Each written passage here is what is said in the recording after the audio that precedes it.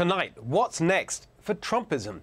According to a report this week, Donald Trump is telling people close to him that he is indeed planning on a 2024 White House run with his eye on Florida Governor Ron DeSantis as his running mate. But whether or not he's the candidate, his policy revolution has already completely transformed the Republican Party. Now there are new plans to make sure that that transformation is permanent. Right at the heart of those plans are what's next Guest tonight, former head of the Domestic Policy Council in President Trump's White House and now CEO of the new America First Policy Institute, Brooke Rollins. And Tammy Bruce is back with us too. You can see Tammy every day this week because she's hosting Fox News Primetime at 7 p.m. Monday through Friday. All right, Brooke, let's start with uh, hearing what you've been up to. It's pretty important stuff. Well, Steve, thank you for having me on. Yes, just a couple months ago, in fact, your uh, just prior guest, Larry Kudlow, and myself, and a lot of the administration officials from the last administration, uh, Rick Perry, Linda McMahon, Chad Wolf, David Bernhardt, lots of superstars, Pam Bondi, uh, launched the America First Policy Institute with the idea that the four years previous, where we had transformational policies enacted and implemented and truly lives changed across the country, uh, how do we keep those policies? Policies going? How do we continue to build the coalition that, frankly, no one expected, was completely unprecedented, and we saw numbers that we've never seen before from people supporting mm -hmm. these ideas and these concepts that were brand new to the ideas of freedom and liberty and less government and prosperity. So it's very exciting. Um, and Tammy, it feels like this is exactly the answer to the, to, the, to the situation that you so brilliantly described in our earlier discussion about the establishment wanting to take back the reins of power. This looks like the kind of intellectual fight back that we need. Well, it, it is, and it remains a reflection of the Trump ideal and the Donald Trump vision. There may be Trumpism, but it really is the conservative ideal. It is about. American personal freedom. I don't know why people are looking at this as though it's some new, you know, crazy scheme, right? this this is what the founders had in mind.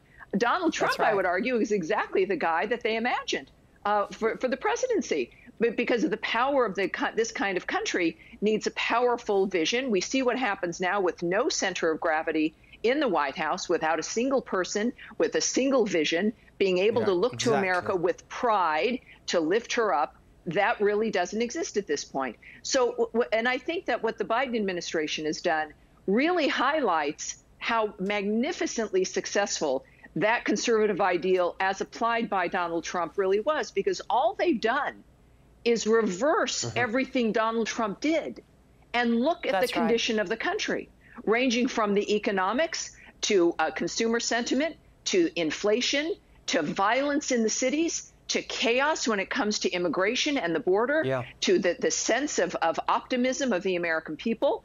All they did, and all they spent their time doing, is reversing what Donald Trump did. It is uh, an obscene gesture to the American people yes. as punishment for daring to fire them. Well, they're going to have that experience again. And I don't think that there's a new vision of what it means to have supported President Trump or what Trumpism means, means or what Brooke is working on. It is a return to the American ideal. It is that simple. And we, we as, as uh, yeah. uh, we like experiments. This country's an experiment. And we, we, we trust our fellow Americans. And so when something like this happens with the Biden administration, we are shocked and we're insulted because we've trusted people. And now we're going to have to go back and realize that some people don't mean well and other people mean to lift us up. And that is going to be the fight in 22 and 24. Exactly. Brooke, tell us about some of the specifics you've been working on. We, we talked a few weeks ago, and you, I was excited to hear you uh, talk about your focus on some state level policy making and so on. How are you going to kind of spread this agenda? Well, I think Tammy's exactly right. And you know what, what the last administration, what President Trump really stood for was who rules in America, right? Who gets to decide? And I think that's what he stood for when he came down the escalator. And that was the, the magic, frankly, of the coalition building of people saying, wait, I agree with that. Why is the government telling me who my doctor can be, whether borders are going to be open, what job I can take?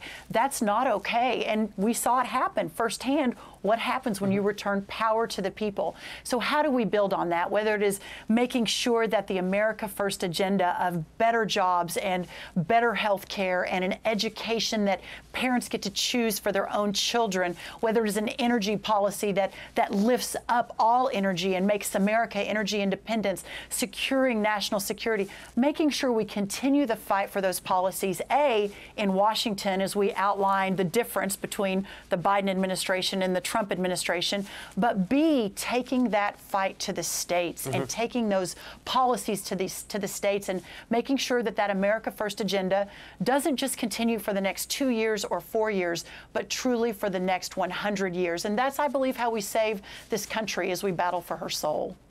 There you are. Incredibly important work. I'm so glad that you're leading up the effort, Brooke Ron. great to see you tonight. Hey, Sean Hannity here. Hey, click here to subscribe to Fox News YouTube page and catch our hottest interviews and most compelling analysis. You will not get it anywhere else.